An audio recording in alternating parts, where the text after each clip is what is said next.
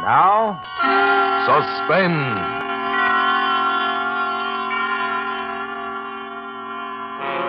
Tonight brings you Miss Betty Grable in The Copper Tea Strainer, a suspense play produced and directed by Anton M. Leader.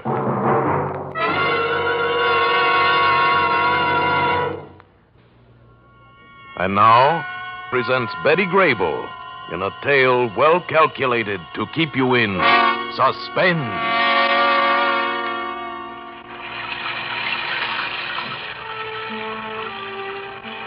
I was in the two by four dressing room changing into my street clothes. It was raining, beating down on the low skylight like a fury. It made such a racket that I didn't hear a thing until the buzzer rang and the outer door clo- opened. The first I heard your voice, I was sorry for you. You sounded tired and you had a cold. You'd be surprised if I ever told you, but I wasn't frightened at all when you spoke to Irwin. You the photographer who runs this place? I'm James Irwin, and this is my photo agency, yes. You have some work to do? I got work to do. There's a, there a dame named Jeannie Dunn here, Irwin? When you said my name, I got a little scared without knowing why. I'd been modeling a sunsuit, and I was cold anyway. Irwin was never a guy to pay for decent heating. Now I got cold way inside, and my fingers trembled as I tried to zip my dress. I leaned against the partition to try and hear better, but the rain was too loud. I couldn't figure out why I was so jittery. I, I was blank. I, I couldn't remember what had happened all day or yesterday. But I knew you were dangerous to me, and I had to find out why. I opened the door a crack to hear better.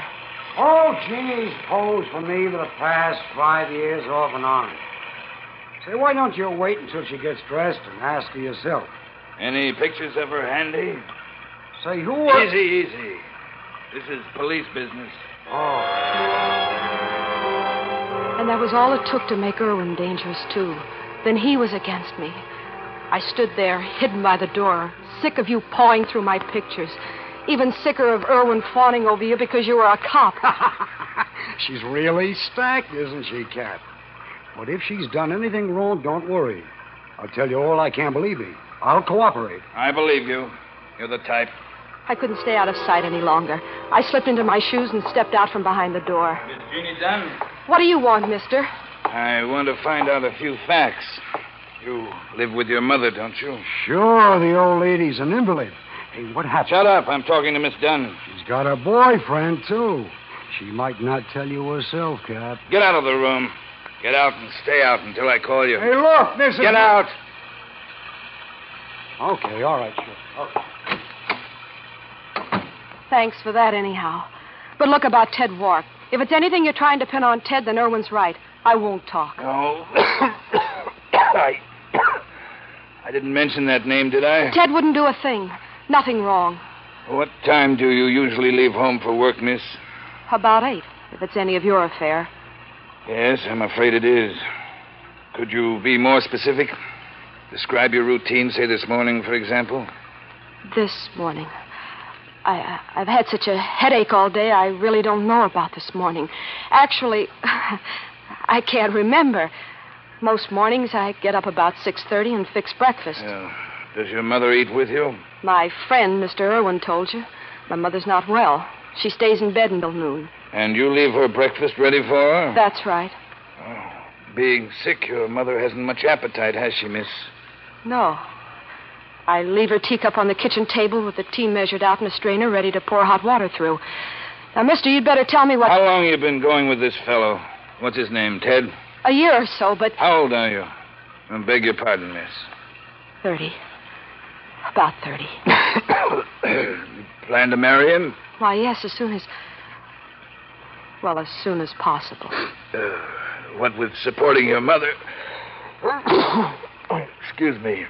Prices nowadays, a dollar don't go far. Uh, you'd better take care of that cold, mister. Oh, thank you.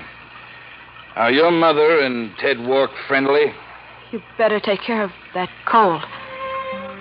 I repeated that stupidly so as not to hear your questions. Then I stared at something you fished out of your coat pocket. I felt the arteries jumping on the sides of my neck. You were looking at my neck. Maybe I could ask you sometime if that was a tip off you learned by studying people like me. You toyed with the thing in your hand, and it picked up a sliver of light from a flood lamp. It sparkled like a, a jewel. Only it wasn't any more a jewel than any of the junk on my bureau. It was a common tea strainer made out of bright, new copper. You watched me and spun the thing by the handle between your finger and thumb. I couldn't stop looking at the shiny wire, a mesh like a net. Well, miss, what do you say? Are your mother and Ted Wark friendly? Suddenly my mind cleared. Everything I'd managed to block out came back. Everything. There was no more escaping the past. Or you. Stop playing with that tea strainer. Huh? Put that thing away. Get it out of my sight.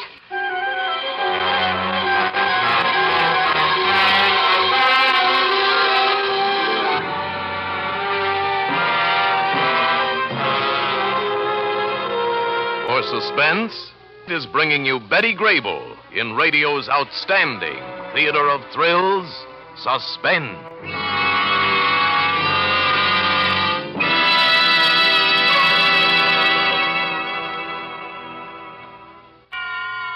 And now, brings back to our Hollywood soundstage Betty Grable as Jeannie in The Copper Tea Strainer.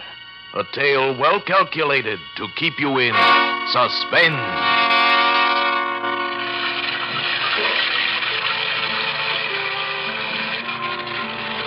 Can you faint dead away and keep sitting in a chair talking and acting normal? I did, Mr. Detective. At the sight of the tea strainer, you kept spinning between your fingers. A cold blackness paralyzed me, and our two voices seemed to be coming from a great distance. My stomach felt sick. You hit at me with questions, and I fought with all my will to keep from giving dangerous answers. The rain banged louder on the skylight. A flood lamp sputtered out. And my breathing quieted down. You said your mother and Ted Wark are friendly? Yes, yes, I told you. Where did you get that tea strainer? Five and dime store. Why, miss? Nothing. you, uh, you leave your mother's breakfast ready for her? Hadn't you asked me that before, too? I, I wasn't sure. But the words started memories flashing through my mind like jumping movie scenes. You studied me with your tired, expressionless eyes, but you couldn't see into my memory.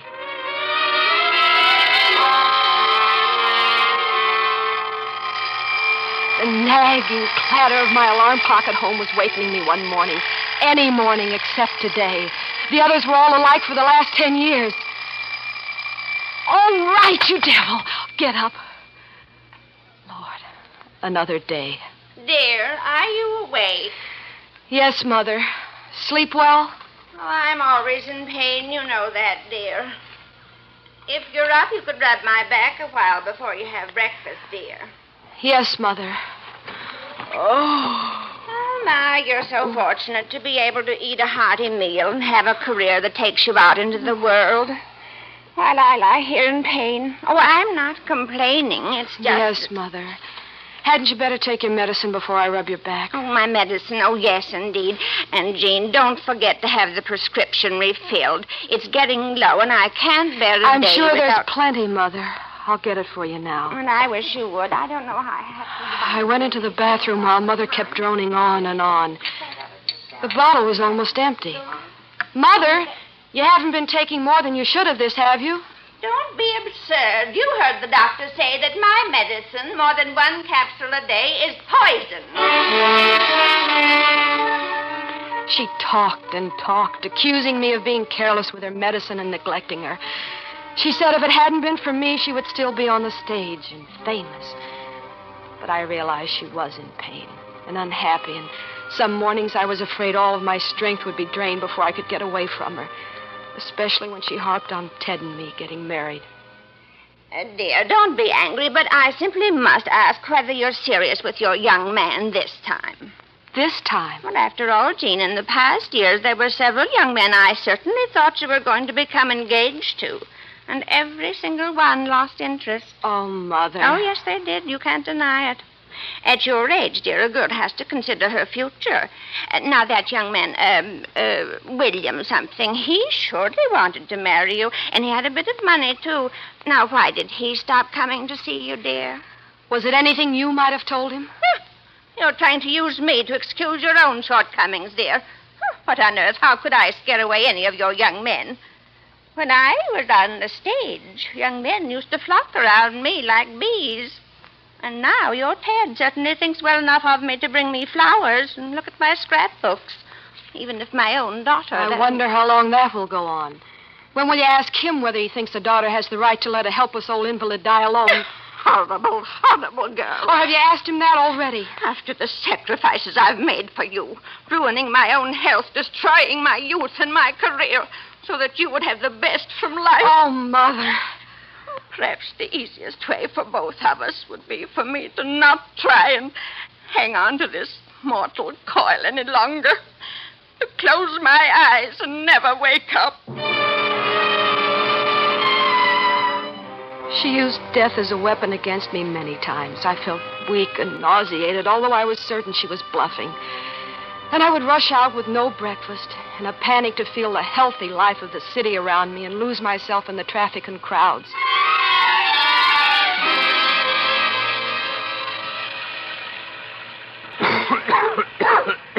Rotten deal, isn't it, miss? Huh? Honest, I'm interested in you and Ted Wark. You serious about each other? What are you getting at, mister? What's happened? I have a right to you know. two really in love? You paid no attention to my panic. You kept prodding me with that question and twirling the tea strainer.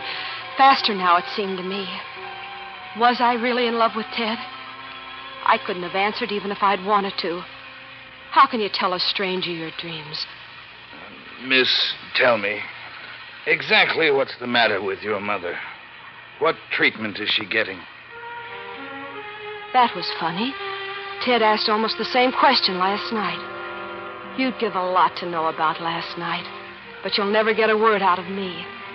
If you had seen Ted and me last night, you wouldn't have had to ask if we were in love.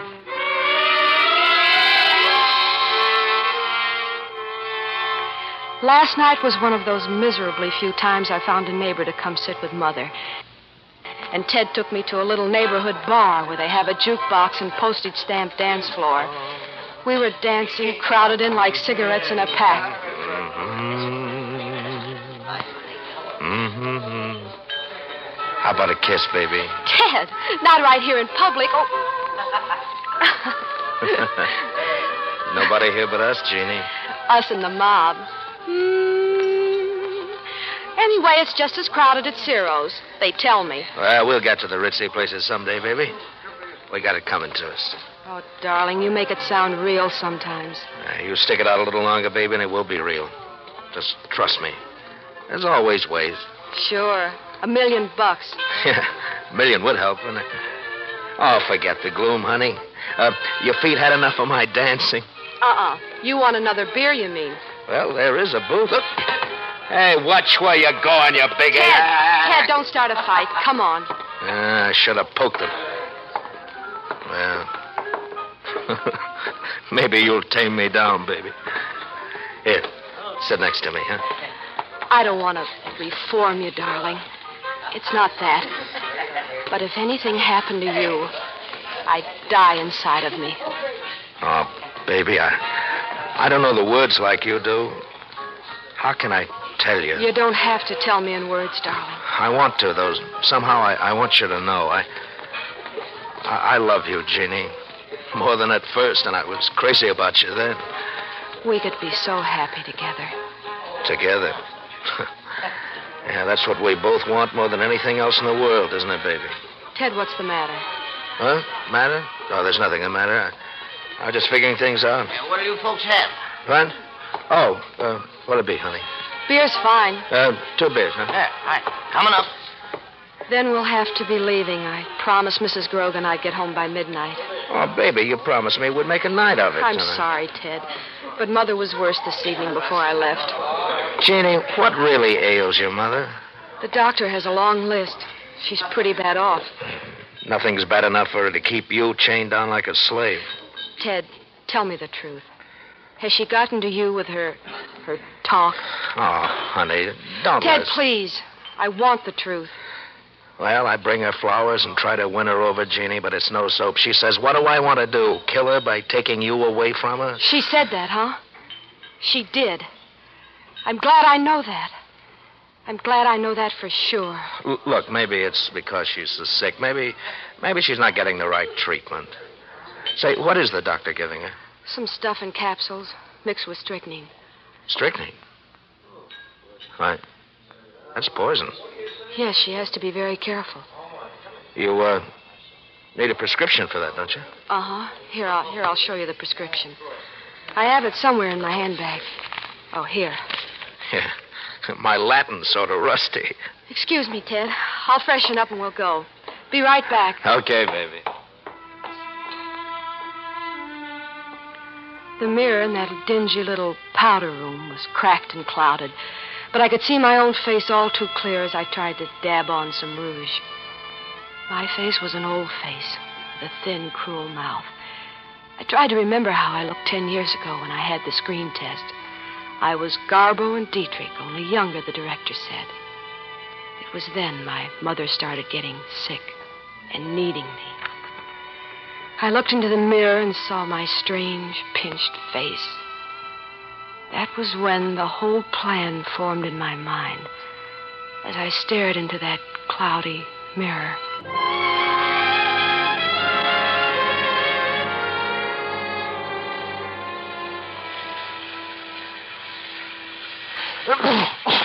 Oh, excuse me, miss. You better take care of that cold. Yeah, thanks. Now, uh, tell me, did Ted Wark ever blame your mother? Did he ever say that she stood in the way of your marriage? I never told you any such thing. Ted wouldn't have done. Done what, miss? Mother's dead, isn't she? You're not very subtle. Why else would the police persecute me? She's dead. You believe your mother was killed, miss? No, no, you you keep putting words into my mouth. Maybe she was worried about being in the way. Would your mother have been likely to have. Mother suffered night and day. I, I suppose that's why she acted so depressed. The tea would What have been tea? the per. Oh, leave me alone, please. You believe your mother took her own life by making herself a poisoned cup of tea? Because she didn't want to be a burden any longer? Yes. Yes, that's what must have happened.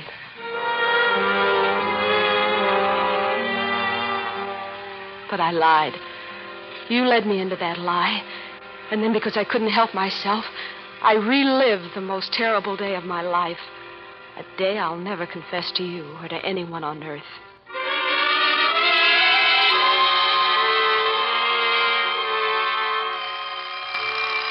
I woke up this morning with a headache, the pain running deep back of my eyes. I had a feeling of dread with the thought of last night in the mirror. Are you awake, dear? Yes, Oh, I haven't slept a wink, Jean. Oh, Jean, did you get my prescription filled as I asked you to? no, but there's plenty. You were out later than usual last night, weren't you, dear? I don't mind for myself, but it is an imposition on Mrs. Grogan. Oh, your young man certainly is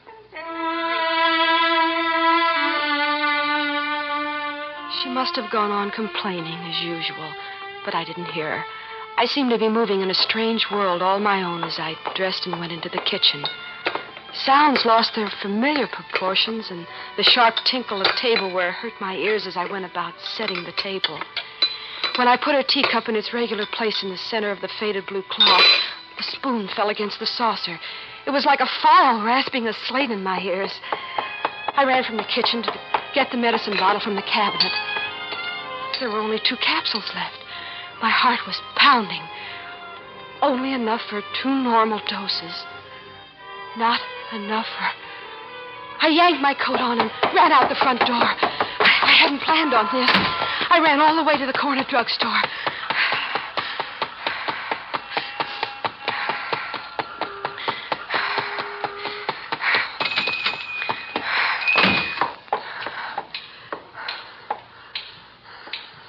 Oh. Oh, I, I never do hear that door open.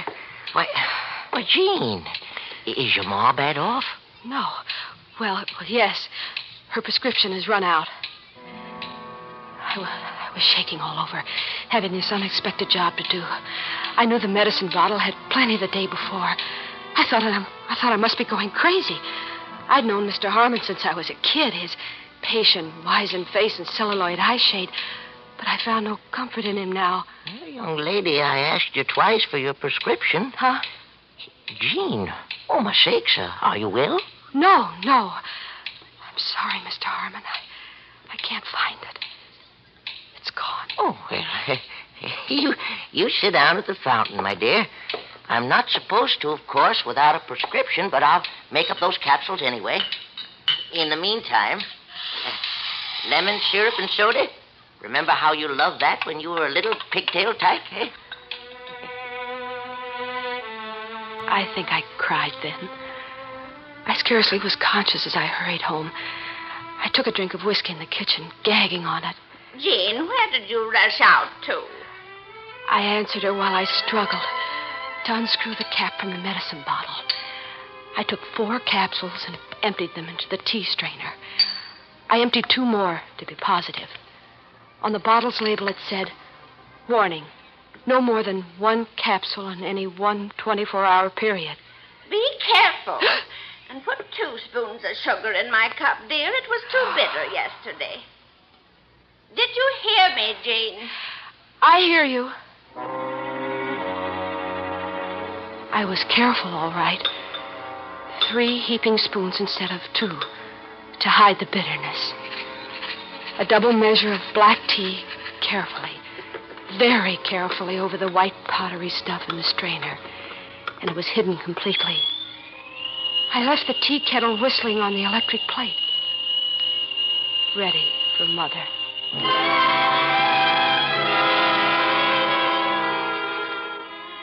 I didn't see Mother again. I left the apartment, half running all the way downtown to the studio in the rain. Irwin was crabbing as soon as I walked in. Oh, good morning, Duchess. All right, hop into your sunsuit now and make it snappy. And make up for black and white. What's the excuse today? Have to go to a funeral or something? I did it, he, I did, did he said, silently, and got through a series of poses. My mind had gone blank, and I, I struggled to keep that way, numb. All I knew was I mustn't let, mustn't let myself remember. Keep busy and blank. And that's the way it was when you came in and asked me questions. You spun that ugly little tea strainer till my eyes ached watching it. And you tore the protective blanket from over my head. You released my memories, but I told you nothing of the scenes you conjured up in my mind. I told you nothing. But still, you knew that I lied when I agreed that my mother must have killed herself.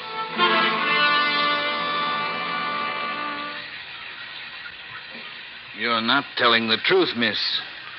But the odd thing is, you're closer to the truth than you realize. I didn't kill my mother.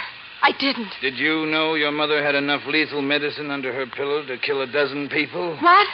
She'd been hoarding them. Perhaps because she brooded she was a burden. No. But, miss, your mother never would have taken those capsules the hard way in a cup of tea.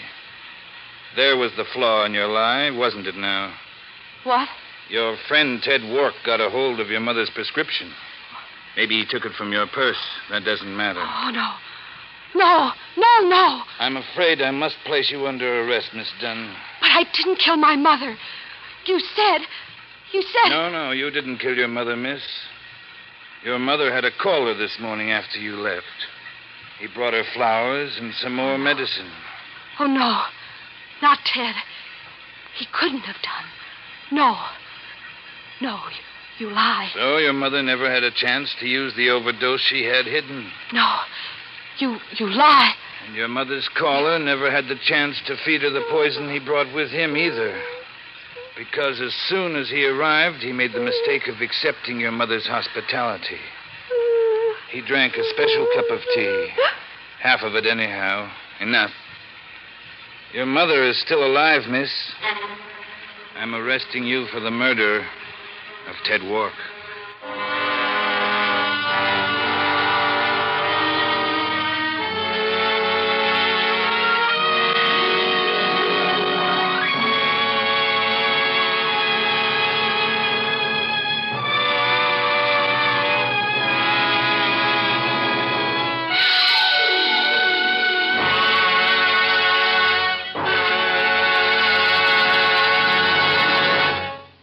Thank you, Betty Grable, for a wonderful performance.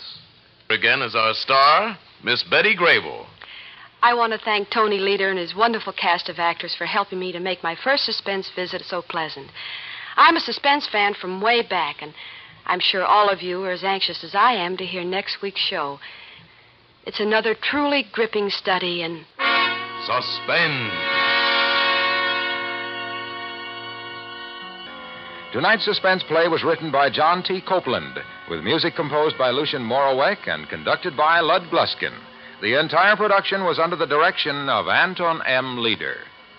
This is CBS, the Columbia Broadcasting System.